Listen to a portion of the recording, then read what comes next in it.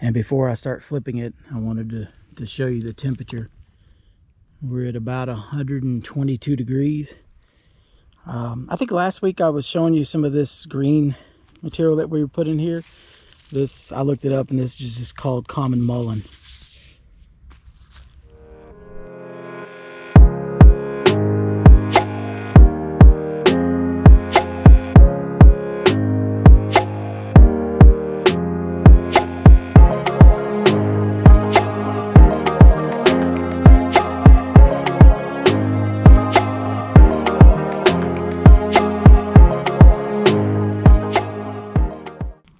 Okay, here's the compost pile and I already have the the wire unhooked over here. So I'm just going to pull this out and I'll set it up right here. I laid down a bed of leaves to get it started, but I'll move the wire back over here, hook it back up, and then we'll start flipping that compost material into this new pile.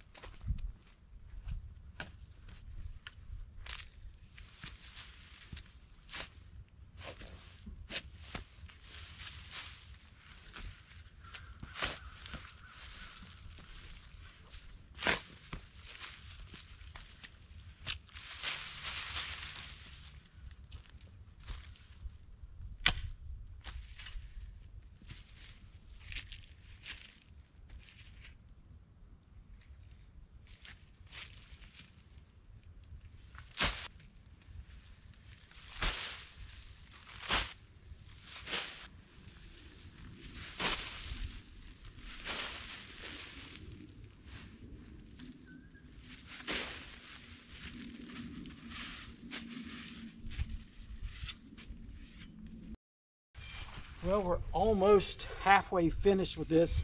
We've actually been watering some of the leaves um, as we've flipped the pile. Some of the leaves are really dry. So we've just been trying to get those wet.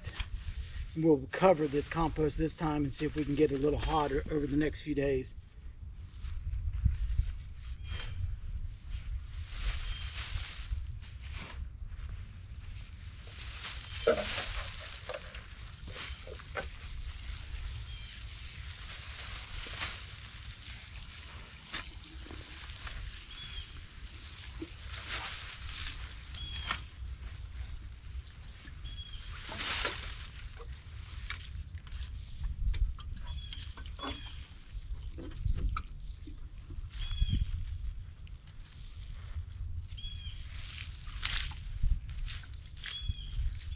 Okay, we have the compost flipped and filled up. So I wanted to show you how fast the temperature. So right now, I just had this stuck in the ground and the ground temperature was about 60 degrees. So we'll stick this down into the center and you can watch it rise.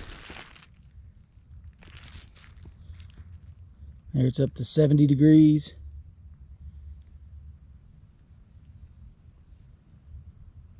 And keep in mind, we just flipped this and watered it with uh, with rainwater that we had caught in buckets.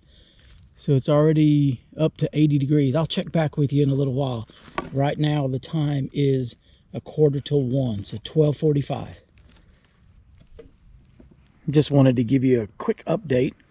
The time is now a quarter till five. So I think that's been four hours. So the temperature pretty much stopped climbing at about 82. But I think tomorrow uh, overnight it should heat up more and we'll try to check it again tomorrow.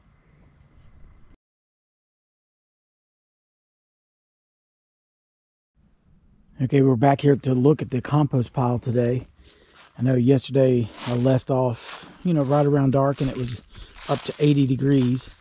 So all we did was just cover the compost bin here with a tarp. And I just wanted to show you what the temperature is right now.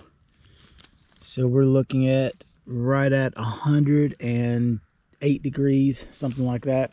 So the only thing we did last night was just cover this And right now the air temperature is about 38 and it got down to about 32 or 33 last night. So it's definitely working, even though the outside temperature is quite a bit colder. So we're going to cover it back up and I'll show you this again the, the next time we're here. See how, show you how the temperature goes